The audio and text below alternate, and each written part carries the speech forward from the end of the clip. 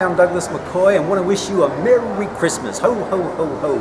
Now, I'm sure you're going to get lots of lovely presents under your Christmas tree, but remember the most important presents you've got is now, the present time.